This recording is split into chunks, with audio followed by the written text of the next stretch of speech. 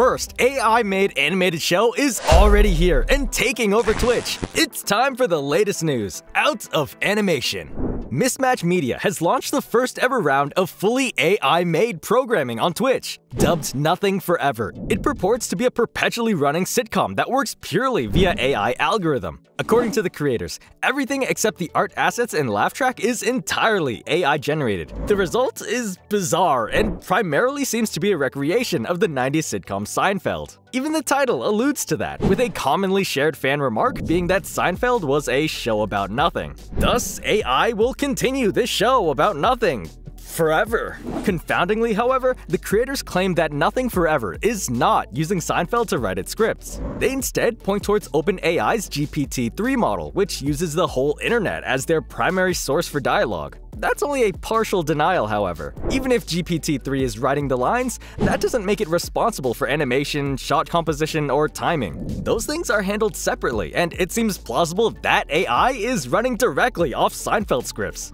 This AI director then feeds tags for specific lines into GPT-3 and strings them together into a scene.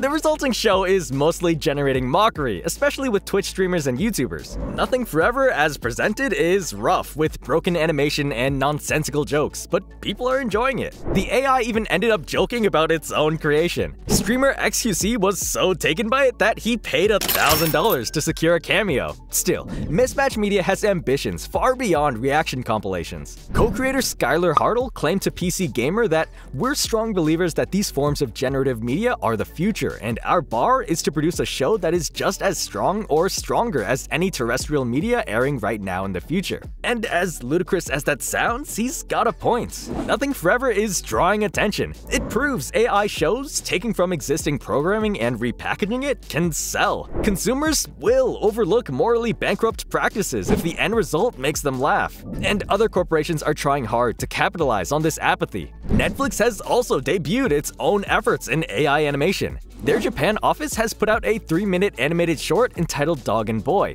At a glance, this is a charming little movie with a classical Ghibli feel to it, but the announcement comes with a sinister catch. As an experimental effort to help the anime industry, which has a labor shortage, we used image generation technology for the background images for all 3-minute video cuts. All of those beautiful scenic backgrounds, each one was AI generated thanks to technology firm rinna Incorporated. Netflix's spin is transparent. Those labor shortages are due to crippling bad conditions in the anime industry. In between artists make less than $2 per frame, adding up to about 10k per year. For contrast, the lowest level yearly salary for a McDonald's employee in the US is 18k. Layout artists and paint staff, the people who handle backgrounds, get more, but they're still close to 20k. Instead of trying to ensure these people are paid more to help create the shows we love, Netflix is having a computer do the work for them. The credits of Dog and Boy literally put the AI above the artists who helped touch up this glorified tech demo. Even Netflix's tweet places rinna Inc. above Wit Studio, the actual animators of the shorts. Thankfully, people are reacting appropriately, tearing Netflix apart for this misbehavior. But Dog and Boy is still a bleak omen for those who care about animators.